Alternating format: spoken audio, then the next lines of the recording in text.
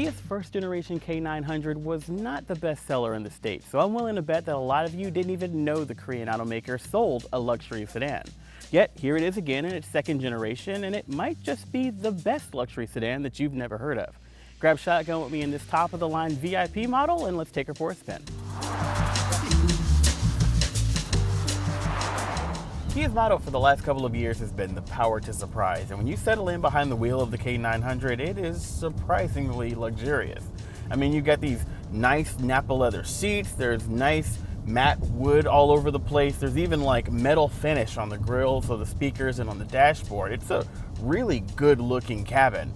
None of that cheap stuff that you kind of typically associate with the brand. I mean, take for example the seats. They're all power adjustable in this car, but the driver's seat has 20-way power adjustability. Let me look at how much vertical adjustment I have on this thing. It just keeps on going. I think I'm gonna touch the ceiling. There it is, touching the ceiling. That's crazy. Now in Kia's home country of Korea, the K900 actually serves as a limousine. Not like a stretch limo, sort of like a black car that you'd chauffeur people around in. So this VIP model we're in inherits a really nice set of back seats. They're both power adjustable, but the one on the passenger side has access to a chauffeur mode. And what that does is it slides the front passenger seat forward and down to maximize the amount of leg room that you get back there while also keeping the seat out of the driver's way. I can still see the rearview mirror when it's pushed all the way forward. That's really cool. Now back up front and center in the dashboard, we've got a 12.3 inch version of Kia's UVO infotainment system. We really like this software on smaller screens and on this gigantic display where it can really spread out. It just really works well. You can use it as a touchscreen or you can use a controller down here on the console. And Android Auto and Apple CarPlay are standard, so even if you don't like it, you can bring your own tech. Now the VIP model, in addition to the nicer back seats, also has a massive 12.3 inch digital instrument cluster that is customizable with a variety of different gauge layouts. Basically, they sort of change their design depending on the drive mode that you're in. So in sport, you get something dark and sporty. In comfort or eco, you get something cool and relaxing. And in the custom mode, you get this really cool purple lightsaber looking thing.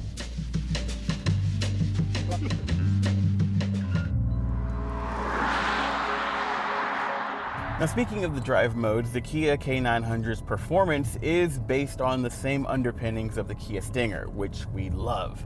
That means under the hood we've got a 3.3 liter twin turbocharged V6 engine making 365 horsepower and 376 pound-feet of torque. And in its sportiest mode, this thing pulls. Now, full disclosure, this isn't the first time I've driven this car. I've actually been able to drive the Korean version of it over in Seoul near Kia's R&D facility. And the K900 they have over there has a really soft suspension. But the one that we have here in the States, this one we're in now, actually has a suspension setup that is a lot more in common with the Stinger. And that means that it's erring more on the side of sports sedan, not big comfy cloud. I wouldn't go so far as to call this car nimble, she is pretty big, but I would say that it does feel athletic, and that's partially due to the gobs of power that we've got going to the all-wheel drive system, which is standard, and the adaptive suspension, which in its sportiest mode is actually pretty firm. It's keeping this car nice and flat in the corners. Now as Kia's flagship model, this bad boy is going to come pretty much fully loaded at every trim level. There are only two to choose from. But that means that no matter which way you go, you're going to get all of the safety technology in Arsenal out of the box. You can check out our full review over on theroadshow.com to learn more about all of that. Overall, I feel like the K900 is definitely packing a very luxurious cabin, a lot of technology that I like, and I especially like how they've adapted this big comfortable sedan into something that's actually fun for the North American market. I think it's the winner, but only time will tell how well it'll sell.